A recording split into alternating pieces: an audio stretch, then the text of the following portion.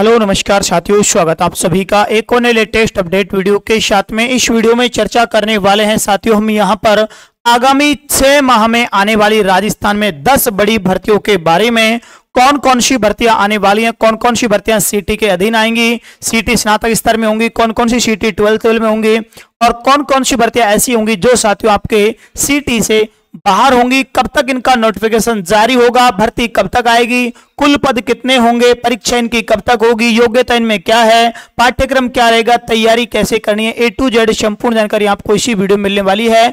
तो वीडियो को complete watch करना आपको साथियों, अच्छे से चैनल पर पहली बार आए हैं तो प्लीज़ चैनल को सब्सक्राइब ज़रूर कर लें बेलाइकन को प्रेस करें, जिससे आपको आने वाले हर लेटेस्ट वीडियो का नोटिफिकेशन साथियों, आपको मिलता रहे। अपना एक टेलीग्राम चैनल भी ऑल टाइम टॉपर्स के नाम से, यदि आपने अभी तक Telegram channel all time toppers को ज्वाइन नहीं किया है तो जल्द से जल्द साथियों Telegram channel all time toppers को ज्वाइन करें, जिससे कि आपको सभी प्रकार के लेटेस्ट अपडेट सबसे पहले, सबसे सटीक आपको मिलती रहे। तो सबसे पहले तो हम यहाँ पर बात कर लेते हैं साथियों कि आने वाले अगले महीनों में, है ना, जो छह माह आपके लिए होंगे साथियों गोल्डन साबित होने वाले हैं। गोल्डन चांस आपके लिए गवर्नमेंट जॉब का पाने का सुनहरा अवसर है।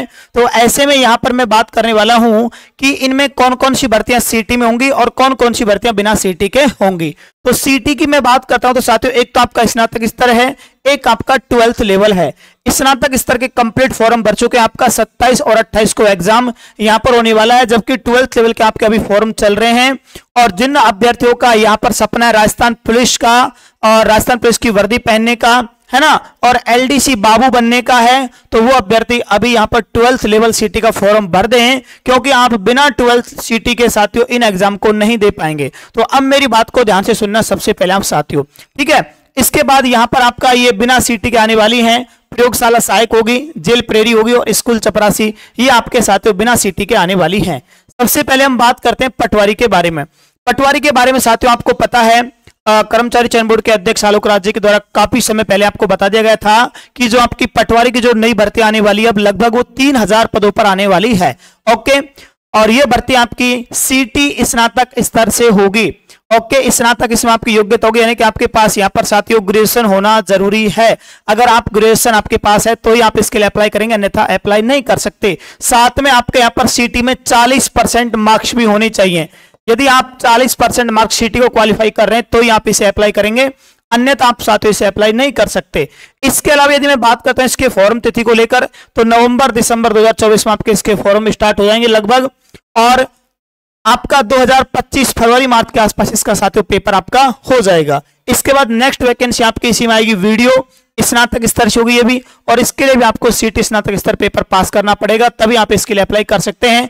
अभी यहाँ पर इसमें थोड़ा बताया नहीं है कि इसमें साथियों पद कितने होंगे। तो लगभग अपन मान के चल सकते हैं साथियों इसमें भी यहाँ पर 2000 के आसपास पद हो सकते हैं ओके और इसका भी प्रोसेस यानी कि लगभग इन दोनों का प्रोसेस सेम होने वाला है। आगे बात करते हैं राजस्थान पुलिस को लेकर। राजस्थान पुलिस में आपको पता है साथियों, कुल पहले जो, यानी कि जो बजट में घोषणा की गई थी यहाँ पर, वो 5500 पदों पर घोषणा की गई थी। है ना? अभी जो बजट हुआ इसमें। लेकिन अब इसमें यहाँ पर साथियों और पद बढ़ा दिए गए हैं और लगभग अब ये भर्ती आपके 9000 पदों पर होने वाली है। इसके लिए ट्वेल्थ पास होना ज़रूरी है। साथ में आपको सीटी ट्वेल्थ वाला पेपर भी यहाँ पर क्लियर करना ज़रूरी है। एस सी एस टी के लिए पैंतीस परसेंट और यहाँ पर, और बाकी कैटेगरी के लिए 40 परसेंट ज़रूरी है। और यहाँ पर आपको मैं दिखाता भी हूँ साथियों, यहाँ पर आप देख सकते हैं इसमें। बजट में पुलिस के 5500 पद की घोषणा की थी, है ना?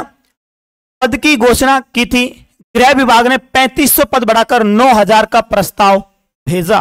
तो जल्दी आपके ये भर्ती आने वाली है और यहाँ पर साथियों, जल्द मंजूरी की संभावना यहाँ पर मिलने वाली है। अब देखो, तीन हज़ार पद यानी कि आपके जो बटालियन, ये बटालियन होते हैं, जैसे कि आपके महिला बटालियन होती हैं, ठीक है ना? इसमें जैसे हाडा रानी है और आपके एट बटालियन है सिक्स है, इस प्रकार से। तो यहाँ पर अब की बार बजट में क्या था कि तीन नई बटालियन की घोषणा कर दी थी। तो मतलब हर एक बटालियन के लिए एक हज़ार कम से कम पद होने चाहिए। तो यहाँ पर तीन हज़ार पद तो आपके बटालियन के होंगे, चार हज़ार पद नए थाने चौकी जो जोड़ गए उनके लिए, और यहाँ पर 2000 पुलिस कर्मियों की ज़रूरत है पेट्रोलिंग टीम के लिए। और इसमें साथियों, लगभग दो से तीन हज़ार पद स्पेशल महिलाओं के लिए भी यहाँ पर होने वाले हैं। है ना, इसी में। तो एक बहुत बड़ी अपडेट साथियों आपके लिए यहाँ पर होने वाली है। और पहले कहा गया था कि इसमें जो आरएसी बटालियन वाली वैकेंसी होगी, वो आपकी बिना सीटी के, लेकिन बाद में कह दिया गया कि ये भी अब आपका सीटी के अधीन होगी। तो यहाँ पर अगर आपका सपना राजस्थान पुलिस में जाने का तो यहाँ पर आपको साथियों सीटी ट्वेल्थ लेवल पहले पास करना होगा। और ये भर्ती भी आपकी जल्दी आने वाली है। बहुत बड़ी साथियों आपके लिए अपडेट है राजस्थान पुलिस को लेकर। इसके बाद एलडीसी की मैं बात करता हूँ तो जस्ट जो एलडीसी का साथियों अभी अगस्त में आपका एग्ज़ाम हुआ है है ना? आ, तो जल्दी नई वैकेंसी आने वाली है और लगभग 4000 पदों पर एलडीसी की जो नई भर्ती है वो यहाँ पर आपको जल्दी देखने को मिलने वाली है। योग्यता आपको पता वो ट्वेल्थ लेवल है। सीटी स्नात सीटी ट्वेल्थ वाला आपका पेपर पास इसमें होना ज़रूरी है। साथ में यहाँ पर साथियों आर एस भी आपके पास होना ज़रूरी है। अब बात कर लेते हैं आगे हम इसमें यहाँ पर साथियों प्रयोगशाला सहायक के बारे में। तो देखो, पहले साथियों, जो एक लास्ट अभी प्रयोगशाला भर्ती गई थी लेवल असिस्टेंट की, यहाँ पर इसमें तीन तरह के पद देखने को मिले थे, विज्ञान वर्ग में, भूगोल, और इसके अलावा साथियों, गृह विज्ञान में। लेकिन इससे पहले जो भर्ती होती थी, वो केवल साइंस वाले होते थे, जो साइंस से स्ट्रीम से अभ्यर्थी होते थे, वही उसके लिए अप्लाई करते थे। लेकिन लास्ट वाली जो भर्ती आपकी गई है, इसमें यहाँ पर क्या होता है कि अलग से भूगोल और गृह विज्ञान वालों को भी इसमें ऐड कर दिया। और ये भर्ती आपके है साथियों, बिना सीटी के। ये भर्ती आपके कैसे है? ये भर्ती आपके बिना सीटी के होने वाली है है ना? बस आपके पास क्या होना चाहिए साथियों? ट्वेल्थ पास आप होने चाहिए। बारहवीं पास आपके पास होना ज़रूरी है। और अगर आप विज्ञान वर्ग से हैं तो विज्ञान प्रयोगशाला सहायक के लिए अप्लाई करेंगे। अगर आप भूगोल आपके पास है बारहवीं में तो आप भूगोल के लिए अप्लाई करेंगे। और आपके पास होम साइंस है बारहवीं में तो आप गृह विज्ञान के लिए अप्लाई कर देंगे। ठीक है? और पद इसके मैं आपको बता दें एक हज़ार पद इसमें। बहुत अच्छा साथियों सुनहरा अवसर आपके लिए इसमें होने वाला है। जल्दी ये वैकेंसी आपको देखने को मिलने वाली है। जेल प्रेरी ट्वेल्थ पास होना चाहिए। ये भी बहुत लंबे समय बाद साथियों, भर्ती आपकी आ रही है। पद, इसमें भी आपके एक हज़ार प्लस पद देखने को मिलेंगे आपके। और आप यहाँ पर देख सकते हैं, आलोक राज जी के द्वारा जो कर्मचारी चयन बोर्ड के यहाँ पर अध्यक्ष मोदी जी हैं, इन्होंने कुछ दिन पहले ट्वीट करके बताया भी था कि जेल प्रहरी प्रयोगशाला सहायक, लाइब्रेरियन, पटवारी, इन सबकी अर्थनाओं को हम प्रोसेस कर रहे हैं। कुल सॉरी कुछ गैप्स हैं, जितना जल्दी हो सके इनका एग्ज़ाम कैलेंडर जारी कर देंगे। यानी कि कुल मिलाकर लैब असिस्टेंट जेल प्रेरी और लाइब्रेरियन पटवारी, इनकी साथियों एग्ज़ाम डेट आपकी बहुत जल्दी घोषित होने वाली है। तो अब तैयारी में आप यहाँ पर लग जाएँ। इसके बाद स्कूल चपड़ासी, ये भर्ती भी साथियों बहुत लंबे समय बाद अभी तक देखने को नहीं मिली है। लेकिन जो अपडेट मिल रही है, वो ये मिल रही है कि जल्दी इसकी भर्ती भी देखने को मिलने वाली है बीस पदों पर। इसमें योग्यता आपके आठवीं दसवीं पास योग्यता रहने वाली है। अब बात कर लेते हैं साथियों यहाँ पर शिक्षक भर्ती को लेकर। इनकी जो बेरोजगार संख्या में काफ़ी संख्या में अभ्यर्थी हैं, जो शिक्षक भर्ती का यहाँ पर इंतज़ार कर रहे हैं, उनके लिए यदि मैं शिक्षक भर्ती की बात करता हूँ। तो सबसे पहले बात करेंगे पात्रता वाले अभ्यर्थियों के लिए, है ना? कि पात्रता वाले अभ्यर्थियों का इंतज़ार कब तक पूरा होगा? तो पात्रता में यहाँ पर साथियों, जैसे कि दो लेवल होंगे आपके, लेवल वन और लेवल टू। लेवल वन में क्या होता है साथियों, यहाँ पर कक्षा एक से पाँच तक होता है और लेवल टू में कक्षा छह से आठ तक के लिए होता है। इसमें क्या होता है साथियों?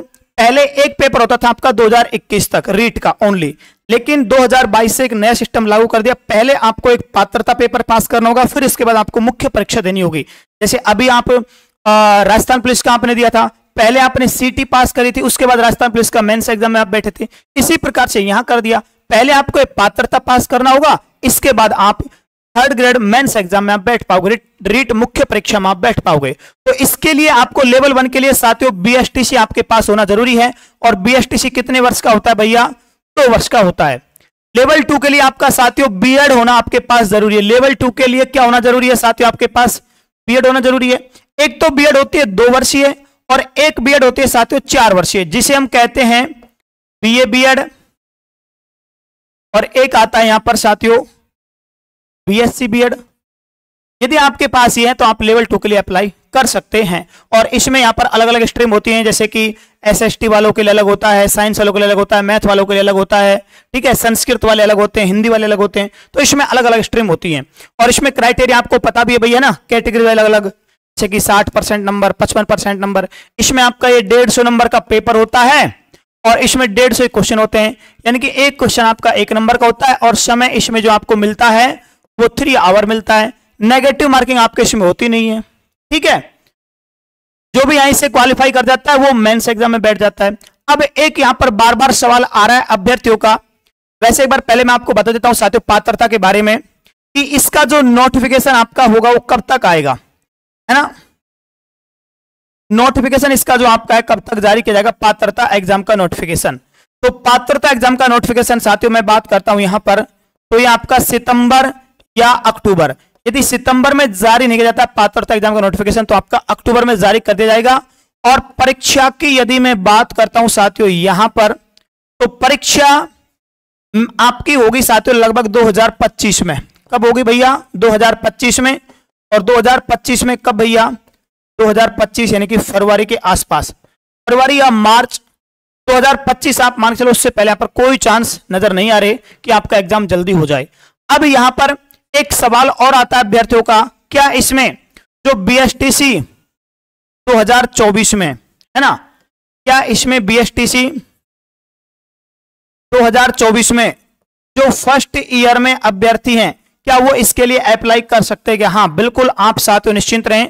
इसके लिए आप अप्लाई कर सकते हैं जो 2024 अब की बार फ़र्स्ट ईयर में है और जिनके अभी फ़र्स्ट ईयर के एग्ज़ाम लगेंगे, वो अभ्यर्थी भी यहाँ पर इसमें पात्रता के लिए क्वालि पेपर दे सकते हैं, कोई प्रॉब्लम नहीं है। क्योंकि ये सिस्टम पहले था 2021 तक। जब एक ही एग्ज़ाम लगता था तो वहाँ पर शर्त क्या थी कि आपका जो रीट बीएसटीसी की डिग्री आपकी, वो जब रीट का रिज़ल्ट आएगा, उससे पहले पहले आपका सेकंड ईयर का रिज़ल्ट आ जाना चाहिए बीएसटीसी का। लेकिन जब से पात्रता एग्ज़ाम किया गया 2022 से तो वहाँ पर अलाउ कर दिया कि आप इसका पेपर दे सकते हैं, कोई प्रॉब्लम नहीं है। लेकिन जो आपका मेंस एग्ज़ाम होगा ना, रीट मुख्य परीक्षा, वहाँ पर ज़रूरी है कि रीट मेंस एग्ज़ाम का रिज़ल्ट आने से पहले पहले आपकी सेकेंड ईयर हो जानी चाहिए। यानी कि अब मान लो, अगर बाई चांस जैसे 2024 वाले अभ्यर्थी इस एग्ज़ाम में बैठते हैं, फरवरी वाले एग्ज़ाम में, फरवरी, मार्च, जो भी होगा पात्रता एग्ज़ाम अगर इसमें यहाँ पर बैठते हैं, और जो आगे रीट मुख्य परीक्षा होगी तो वहाँ तक आपका जो सेकंड ईयर यानी कि जो 2026 में जाकर आपकी जो सेकंड ईयर कंप्लीट होगी ये बीएसटीसी तब तक आपका रिज़ल्ट आ जाना चाहिए रीट मुख्य परीक्षा के रिज़ल्ट से पहले पहले। तो आप निश्चिंत रहें, तैयारी अभी से आपने स्टार्ट कर दे, किसी के बैकावे में नहीं आए। क्योंकि मैं आजकल यूट्यूब पर देख रहा हूँ, बहुत सारे जैसे कि भ्रमित कर रहे हैं कि रीट पात्रता के लिए आपका सेकंड ईयर होना ज़रूरी है, ये है, वो है। ऐसा कुछ भी नहीं है, साथियों सिस्टम चेंज कर दिया गया है। और यहाँ भी जो मैंने बताया था सेम प्रोसेस वही रहने वाला है।